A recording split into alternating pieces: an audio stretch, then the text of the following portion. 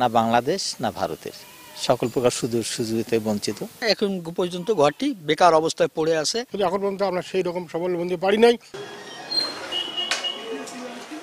দুই হাজার পনেরো সালের একত্রিশ জুলাই একশো এগারোটি ছিটমহল বিনিময় হয়। এর মধ্যে কুড়িগ্রামের দাসিয়াছড়া ছিটমহলে বসবাস করছেন প্রায় চোদ্দ হাজার মানুষ।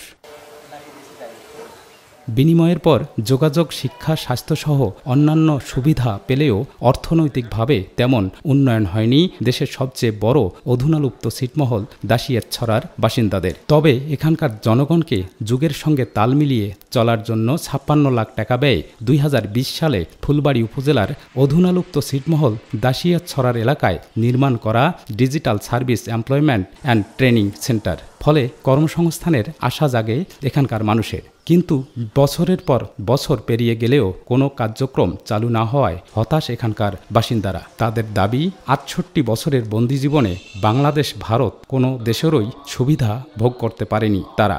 ব্যাংক থেকে নগদে অ্যাড মানি করে প্রতি সপ্তাহে জিতুন মালদ্বীপে কাপল হলিডে প্যাকেজ। বিল্ডিং আছে সব কিছু আছে কিন্তু আমাদের কোনো এখানে কাজ চলমান নাই।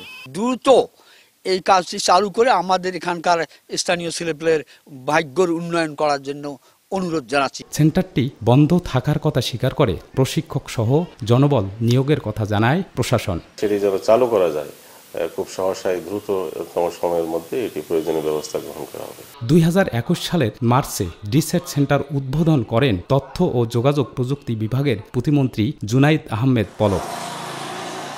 বাদশাহ সৈকত সময় সংবাদ কুড়িগ্রাম।